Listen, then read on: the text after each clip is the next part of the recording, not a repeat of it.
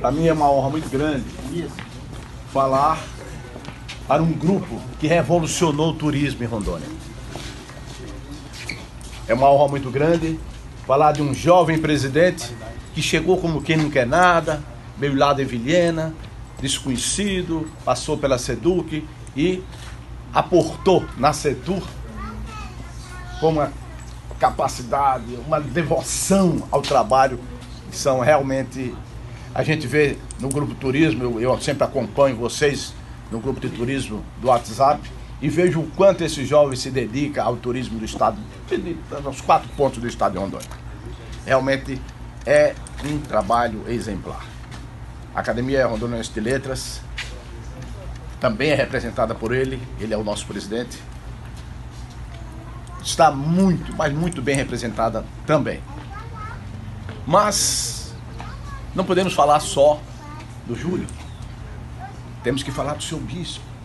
E o seu bispo é uma figura que representa uma instituição como um todo, a Estado Fé Madeira Mamoré, que está se acabando.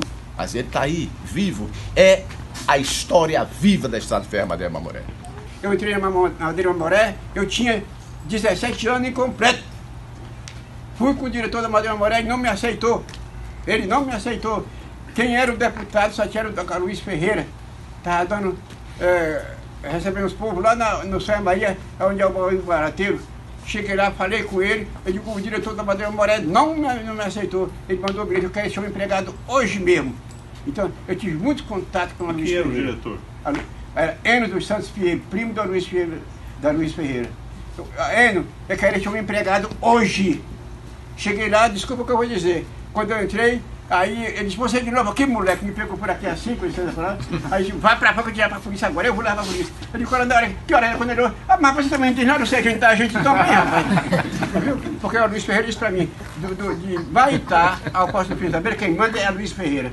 Então, gente, eu agradeço a esse homem, foi a, a fonte fundamental do meu emprego, foi ele que Deus tem no Rei da Glória, pra mim foi muito bom. Então, trabalhei na Madeira Moré, eu vou, vou dizer pra você, sei que está tomando tempo. Eu, eu entrei como trabalhador de linha, eu fui estivador, eu fui telegrafista, eu fui telefonista, eu fui bagageiro, eu fui condutor, eu fui é, responsável das carteiras, da carteira de recepção de toda a carga fluvial, eu fui chefe da carteira de recepção de todo o produto de Guajará-Mirim a Porto Velho. O nome dessa Alameda, né? Alameda José Bispo de Moraes. A gente vai é, registrar isso também através da, de portaria, vamos institucionalizar mesmo de fato. E a gente gostaria que o seu bispo, junto com o William, representando a Academia Rondoniense de Letras, e nós da Setur, inauguremos, portanto, a Alameda em nome do nosso querido homenageado. Podemos puxar? Pode, aí. Muito bem. E está escrito Vila. Ô, oh, seu bispo. Alameda José Bispo de Moraes. Vila de Santo Antônio, escrito com dois L's e sem o acento no, no E, porque era o português da época. Na época. Mantivemos. É o coração, seu bispo. É, o seu bispo, cuidado do coração. Tá? Parabéns, seu bispo.